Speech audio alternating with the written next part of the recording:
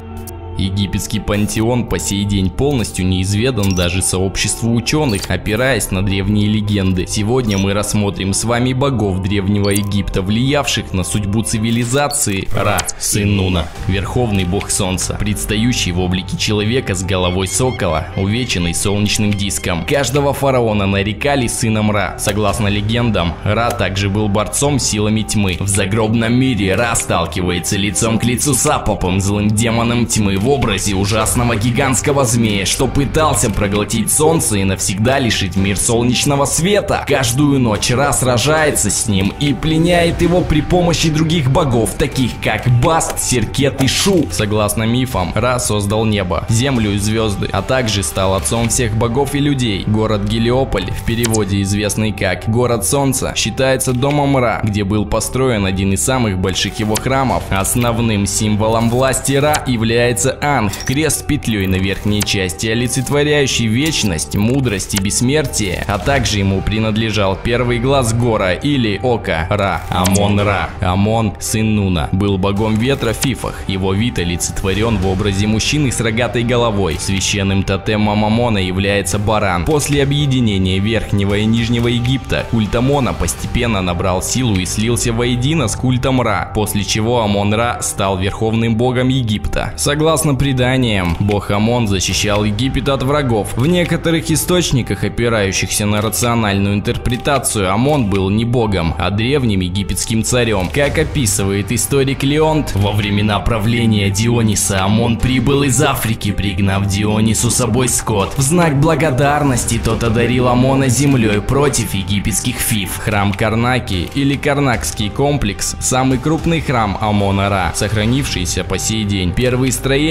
возникли в 28 веке до нашей эры, однако за долгое время своего существования храм не один раз перестраивали. Осирис. Бог Осирис, сын Геба, является богом плодородия и покровителем природных сил, а также учителем египетского народа. Он обучил людей земледелию, виноделию, обработке металлов и врачеванию. Сам Осирис олицетворял человека с лозой, что обвивало его тело. Осирис был убит завистливым братом Сетом, который впоследствии выбросил сундук с телом Осириса в реку. Исида отыскала труп и спрятала его от Сета. Но Сету все же удалось снова завладеть трупом брата. На сей раз убийца разрезал труп на части и разбросал их по всему Египту. Исида с большим трудом собрала все части воедино и предала тело мужа погребению. Возродившись в царстве мертвых, Осирис стал судьей загробного мира. Он выносит приговор усопшим и решает их дальнейшую судьбу. Анубис. Анубис, сын Осириса, был проводником в мир мертвых и богом погребальных обрядов, защищавшим тело в период подготовки к похоронам и оберегал мумию в гробнице. Анубис олицетворен как человек с головой шакала. В Старом Царстве является покровителем некрополей и кладбищ, один из судей Царства Мертвых,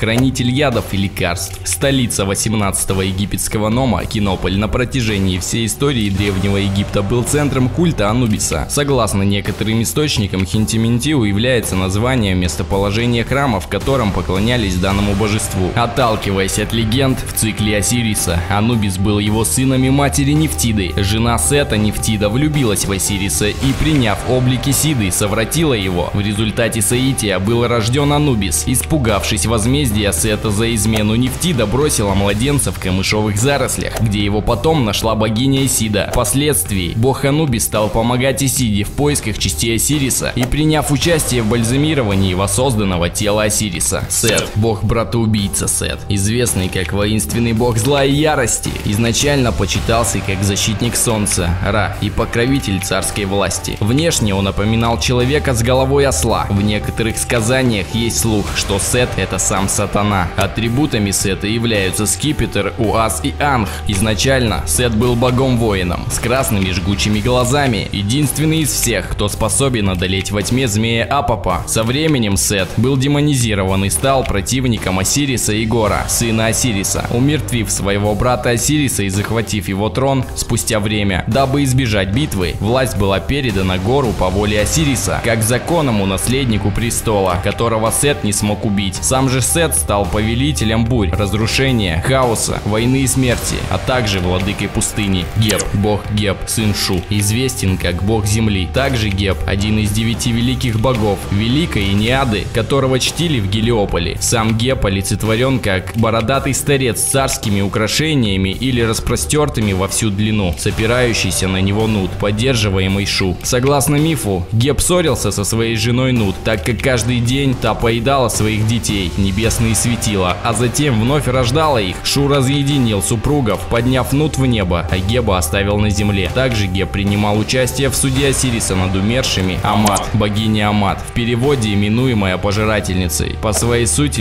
мифологическое чудовище, часто фигурирующее на сценах суда Осириса в качестве пожирательницы душ. В ее образе совмещались черты крокодила, льва и гипопотама. На загробном суде, если сердце покойного перевешивало на чаше весов, то он падал в поля и ару, то есть в рай. Если этого не случалось, сердце умершего пожирало Амат. Считалось, что Амат обитает в Дуате. Амат считала, что она была равной Осирису и решила это доказать на деле. Нужно было выбраться в мир живых и поглотить души всех людей для того, чтобы Амат восстала и начала править миром. Ей нужны души пяти самых страшных и злых грешников. Для перехода в мир живых необходимы четыре артефакта, составляющие один предмет – жезл Анубиса. Когда Амат выйдет на свободу, она принесет бесконечную бурю. Амат станет могущественнее Осириса и будет править миром живых. Тогда творить благо станет грехом, а творить грехи станет благом. Все люди будут грешить, и у всех будут красные глаза грешника. Нун, бог Нун, один из первосоздателей мира, что сотворил океаны и моря. Он известен как воплощение водной стихии, которая существовала на заре времен и заключала в себе жизненную силу. Бог воды олицетворялся как водный мужчина, держащий на руках солнечную ладью. Нун был покровителем Нила, а также зимнего солнцеворота и сезона дождей в Дельте. К великому удивлению для многих, Нун не имел собственных мест культа и храмов, в отличие от многих. Нун и его жена Наунет,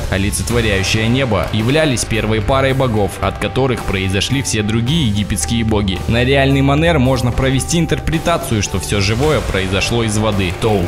Тоут – бог луны, владыка мудрости и магии, покровитель красноречия, изобретатель письменности. Изображался Тоут с головой Ибиса и палеткой песца. Символами Тоута являются посох и анх. Тоут помогает Осирису вершить суд в загробном царстве, записывая показания весов, на которых взвешивалась душа умершего. Основным центром почитания Тоута был Гермополь или Шмун. Согласно старой легенде, Тоут пришел из места под названием Джгути. Сет вынул из своего лба золотой серп, который Тоут у него отнял и положил на свою голову как украшение. Существует миф об изменении календаря, который приписывают Тоуту как изобретателю года, состоящего из 365, а не из 360 дней. Хапи. Хапи – бог Нила, покровитель рыб и птиц болотных. Будучи синекожим мужчиной, Хапи изображался женской грудью и большим животом, символизирующих плодородие Нила, которое даровали египетским полям ежегодные разливы реки. Происхождение имени Хапи неизвестно. Возможно, ранее так называли саму реку Нил. Считалось, что Хапи жил в пещере в одном из источников Нила, неподалеку от Асуана. Культ Хапи был на Элефантине. У жрецов Элефантины был в наличии специальный измерительный прибор – нилометр, с помощью которого можно было предсказать и контролировать уровень прибывающей воды. Подковерные интриги, заговоры, предательство, убийства и жажды власти. По сей день тайны Египта не раскрыты научным сообществом. Единственный способ познать тайны древнего мира нам могут дать останки в виде архитектурных сооружений исчезнувшей цивилизации. Увы, но нам смертным даже и половина тех древних загадок не дозволены быть раскрыты.